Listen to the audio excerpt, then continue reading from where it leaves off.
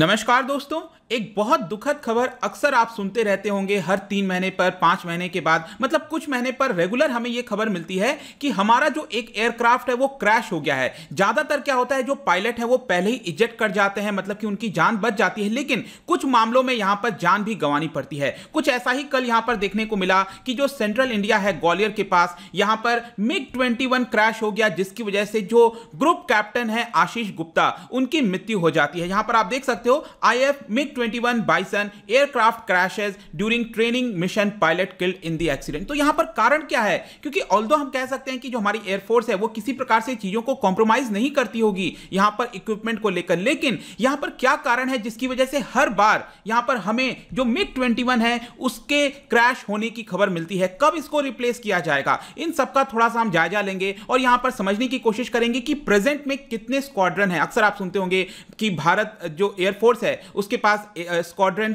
की कमी है थोड़ी सी यहाँ पर जो एयरक्राफ्ट चाहिए हमें, उतना प्रॉपर तरीके से नहीं है। तो एग्जैक्टली exactly क्या आंकड़ा है यहाँ पर? कौन कौन से एयरक्राफ्ट हम यूज़ कर रहे हैं? इन सब के बारे में मैं आपको बताऊँगा। चलिए आगे बढ़ते हैं। मैं हूँ अंकित अग्रवाल और अपडेट के लिए आप मुझे फॉलो कर सकते हैं इंस्टाग्राम फेसबुक और ट्विटर पर। मेरे लेक्चर की हर पीडीएफ आपको फेसबुक पर तो मिलेगी।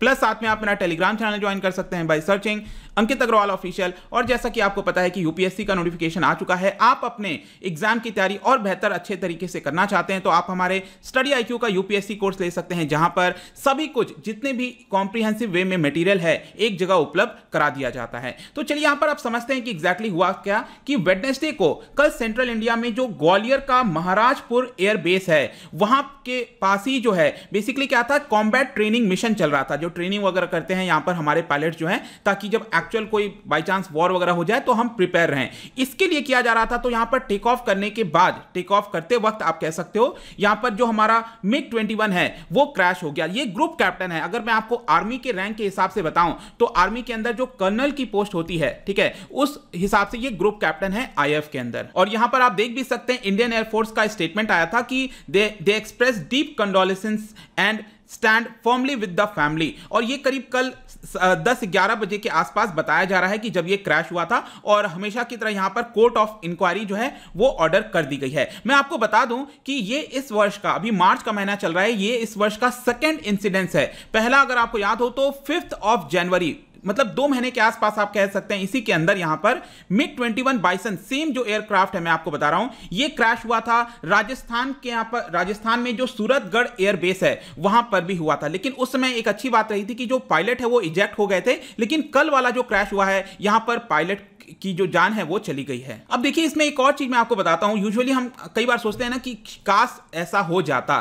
तो कुछ वैसा ही कल हुआ है। मैं आपको बताता हूँ कि ये कोर्ट ऑफ़ इंक्वायरी वगैरह तो चलती रहेगी यहाँ पर, लेकिन मैं आपको बताऊँ कि ये जो पर्टिकुलर पायलट है आशीष गुप्ता जी, जिनकी मृत्यु हो गई है, ये पोस्टेड थे पहले tactics and air combat development establishment में। अब क्या होना था कि जनवरी के महीने में ही यहाँ पर राजस्थान में उनको शिफ्ट होना था। मतलब फेबर या जनवरी के आसपास उनको राजस्थान भेजा जाना था। लेकिन क्या हुआ कि सूरतगढ़ के अंदर जो जनवरी में क्रैश हुआ था, उसकी वजह से उनका जो शिफ्ट है, उसको एक बार के लिए डिले कर दिया गया था, कैंसिल कर दिया गया था। तो ये भी सिचुएशन है। क्या काश अगर शायद वो शिफ्ट हो गए होते तो कल जो इंसिडेंट हुआ है, जिसमें हमारे पायलट की जान गई है, वो शायद ना होना पड़ता। और जो फिफ्थ ऑफ़ जनवरी को क्रैश हुआ था, उनका नाम था नितिन नयाल जी, लेकिन वो इजेक्ट हो गए थे, जैसा कि मैंने आपको बता दिया। तो यहाँ पर प्रॉब्लम क्या है? ये तो हमने इंसिडेंट्स के बारे में समझ लिया।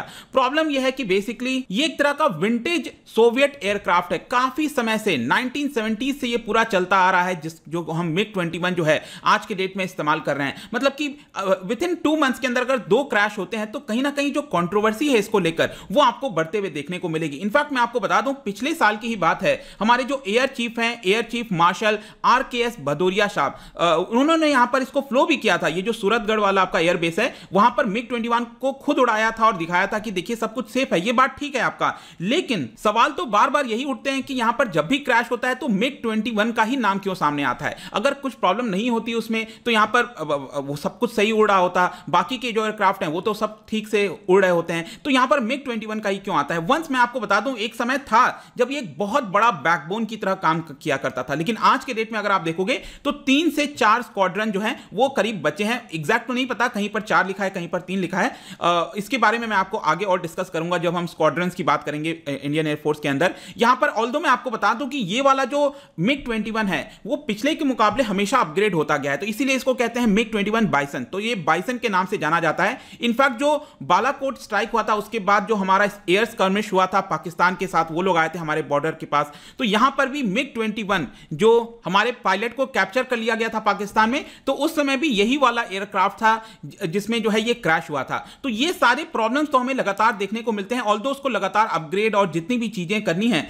वो यहाँ पर किया जाता है। आईएफ का भी ये कहना है कि हम कभी भी इसको लेकर कॉम्प्रोमाइज नहीं करते। वो कितना भी पुराना हो गया हो जितना भी उसका सर्विस वगैरह जैसी चीज़ें हैं वो हम उसको कंप्लीट कर देते हैं। तो यहाँ पर ये कब तक रिप्लेस किया जाएगा? क्योंकि ऑलरेडी बहुत ज़्यादा पुराना हो चुका है। तो देखिए यहाँ पर अगर आप देखोगे तो बहुत ही जल्द हमारे पास एक स्क्वाड्रन जो है वो पूरी तरह से तेजस जेट का वो आ, आ जाएगा। ऑलमोस्ट आने वाला है। इसके अलावा 100 से ज़्यादा और जो तेजस एयरक्राफ्ट है आपको पता है ये इंडिजिनियसली बिल्ड किया गया है हमारे एच के द्वारा। तो 100 से ज़्यादा का ऑर्डर जो है वो ऑलरेडी हमने दे दिया है, जो कि एक तरह से थियोरटिकली अगर आप देखोगे तो मिग 21 को रिप्लेस कर देना चाहिए। लेकिन प्रॉब्लम क्या है? कई सारे चैलेंजेस हैं। यहाँ पर जो स्क्वाड्रंस की अगर हम बात करें तो टोटल 42 टू होने चाहिए। लेकिन आज के डेट में करीब 30 थ्री के आसपास बताया जाता है। अब इसमें भी एग्जैक्टली exactly मुझे तो ध्यान नहीं लेकिन कहीं पर थर्टी या फिर कहीं पर थर्टी थ्री लिखा हुआ था तो इसी के आसपास कह सकते हैं कि हमारे पास है। तो यहाँ पर प्रैक्टिकल तौर पर पूरी तरह से रिप्लेस करना उतना ज़्यादा आसान नहीं होगा। ऑल बताया जाता है कि 2022-23 तक शायद इसको रिप्लेस कर दिया जाए पूरी तरह से,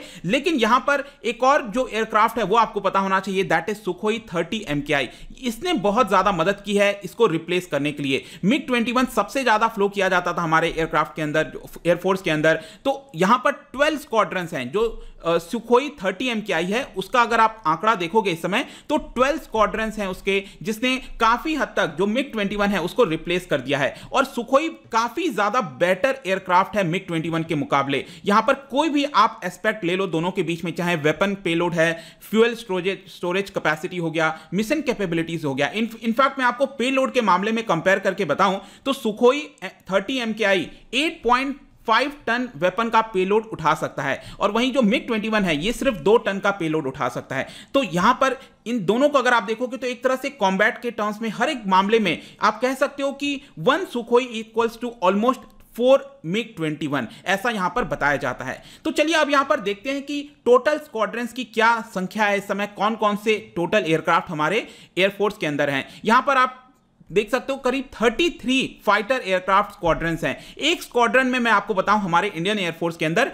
टोटल 16 एयरक्राफ्ट होते हैं। इसके अलावा उसी स्क्वाड्रन के अंदर, क्योंकि ट्रेनिंग वगैरह के लिए भी चीज़ें चाहिए होती हैं तो दो यहाँ पर ट्रेनर एयरक्राफ्ट भी होते हैं, जो टू सीटर होते हैं, जहाँ पर ट्रेन किया जाता है तो टोटल 18 एयरक्राफ्ट आप कह सकते हो, एक स्क्वाड्रन में होता है। तो करीब आप कह सकते हो 500 से ज़्यादा टोटल फाइटर एयरक्राफ्ट हमारे देश के अंदर इस समय एयरफोर्स में उपलब्ध हैं, जो कि एक ठीक ठाक संख्या है। लेकिन जो एक्चुअल स्ट्रेंथ होनी चाहिए, जो यहाँ पर बोला गया है हमारे इंडियन एयरफोर्स को आवश्यकता है, क्योंकि एक तरफ़ पाकिस्तान है, चाइना है टू फ्रंट वॉर इस तरह की खबरों में यहाँ पर यहाँ पर हमारे पास 33 जो स्क्वाड्रन है, इसके बजाय करीब 42 स्क्वाड्रन होने चाहिए। लेकिन यहाँ पर सवाल आता है कि ये जो 42 स्क्वाड्रन है, इसने, ये किसने तय किया है? मतलब कि ये कब से चलता रहा है कि हमारे पास 42 होने चाहिए? तो यहाँ पर मैं आपको बताऊँ कि जो हमारे इंडस्ट्रियल आइकॉन है जेआरडी टाटा जी, उनको honorary two star general IAF की जो रैंक है, वो दी गई है ऑफ़ एयर वाइस मार्शल की। तो मैं आपको बताऊँ, उनको ये वाली पोस्ट भी दी गई थी। तो यहाँ पर 1960s में अगर आप देखोगे तो उन्होंने एक कमिटी को हेड किया था। उस कमिटी के अंदर यहाँ पर स्टडी किया था कि चाइना, पाकिस्तान हर तरफ़ चीज़ों को देखते हुए भारत को कितने स्क्वाड्रन की आवश्यकता है। तो यहाँ पर 42 के करीब बताया गया और उसी के बाद से आप देखोगे तो लगातार यहाँ पर 42 फाइटर स्क्वाड्रन हमारे एयरफोर्स में होने चाहिए, ऐसा बताया जाता है। क्योंकि उस समय अलग रिक्वायरमेंट थी। उस समय अगर आप देखोगे तो हमारे पास जो मिग 21 जो क्रैश हो रहा है आज के डेट में, वो तो था ही नहीं। वो तो 1970s से स्टार्ट हुआ पूरा, लेकिन 1960s तक अगर आप देखिए तो जो वर्ल्ड वॉर टू में यूज़ किया गया था vintage US built liberator bombers, उसका हम इस्तेमाल करते थे। और इसी सारी चीज़ों को देखते हुए एक तरह से जो 42 स्क्वाड्रंस हैं, उसकी आवश्यकता उस समय बताई गई थी। सब्सिक्वेंटली क्या हुआ यहाँ पर, एक तो आपका जो सोवियत एरा का मिग 21 है, वो एयरफोर्स में ज्वाइन कर लिया, जो कि अब रिटायर करने वाला है। यहाँ पर ये जितने भी एयरक्राफ्ट हैं, एक तरह से कह सकते थे आप, स्ट्राइक के मामले में हो, डिफेंस के मामले में हो, सभी रोल को यहाँ पर मिग के द्वारा अपनाया जाता था। इसके अलावा ऑलमोस्ट ऑल ऑफ़ देम और उसके बाद से लगभग सभी रिटायर हो गए हैं। बस तीन या चार मैंने आपको बताया स्क्वाड्रन को छोड़कर ये सभी रिटायर हो चुके हैं। लेकिन प्रेजेंट में क्या सिचुएशन है? कौन कौन से एयरक्राफ्ट हमारे एयरफोर्स के पास हैं? तो एक तो मिग ट्वेंटी मैंने आपको बताया, तीन से चार हो गए स्क्वाड्रन इसके अलावा जो जैगवार है, ये है हमारे पास। फ्रांस का जो मिराज 2000 है, ये है हमारे पास। मिग 29 है हमारे पास, सुखोई 30 एम जो कि काफ़ी बेहतर काम कर रहा है 12 स्क्वाड्रन के आसपास हैं। इसके अलावा तेजस जो है, वो जल्दी से इंडक्ट किया जा रहा है। इसके अलावा यहाँ पर जो ब्रिटिश हॉक है 2000 आठ के बाद से, यहाँ पर चार लिखा, लेकिन 2008 के बाद से ये प्रॉपर तरीके से इंडियन एयरफोर्स में आ गया था, आप कह सकते हो। तो ये सारे एयरक्राफ्ट हैं और आपको पता ही है कि अब जल्दी से जो राफेल है, उसकी संख्या बढ़ती जा रही है और एक पूरा जो स्क्वाड्रन है, वो यहाँ पर तैयार होने की बात कही जा रही है। और 36 आपको पता है कि यहाँ पर ऑर्डर्स दिए हुए हैं 2023 तक मोस्ट प्रोबेबली जो है, ये देश के अंदर आ जाएगा। तो यहाँ पर वो भी आ जाने से हमारे जो स्ट्रेंथ है एयरफोर्स की, वो बढ़ जाएगी। लेकिन यहाँ पर एक सबसे बड़ा क्वेश्चन आता है, जैसा मैं आपको बता रहा था कि जो क्रैश होते हैं तो क्या हमें इसको चलाना चाहिए? क्योंकि मैं यही कह रहा हूँ कि हमारी एयरफोर्स कॉम्प्रोमाइज नहीं करती होगी, लेकिन जब भी क्रैश होता है तो मिग 21 का ही नाम क्यों आता है? तो क्यों ना हम इसको पूरी तरह से एक बार रोक दें? एटलीस्ट हमारे जो पायलट्स हैं, उनकी तो जान एटलीस्ट यहाँ पर बचेगी। ठीक है तो ये सोचना होगा और आपका क्या मानना है इस चीज़ को लेकर? आप मुझे बता सकते हो कमेंट सेक्शन में। और जाने से पहले यहाँ पर आपके लिए एक क्वेश्चन लेकर आया हूँ कि पिछले साल अभी तक का सबसे बड़ा एयरफोर्स के द्वारा यहाँ पर बिगेस्ट एयरबोर्न एक्सरसाइज कंडक्ट किया गया था। उस एक्सरसाइज का क्या नाम था, आप क्या बता सकते हो? ये पिछले साल कंडक्ट किया गया था। इसका जो राइट आंसर आपको पता है, हमेशा की तरह आपको इंस्टाग्राम पर तो मिलेगा ही। अगर आप इंस्टा पे नहीं हो, कोई बात नहीं टेलीग्राम से ले सकते हैं। मैं कई सारे एमसीक्यूज यहाँ पर डालता रहता हूँ स्टोरीज के फॉर्म में। आप जाकर प्ले कर सकते हो। अगर आप मुझसे इकोनॉमी पढ़ना चाहते हैं, कोई भी कोर्स परचेज करना चाहते हैं स्टडी आई ऐप पर जा सकते हैं। आई होप की वीडियो आपको पसंद आया होगा। मिलता हूँ आपसे next time till then thank you very much see you soon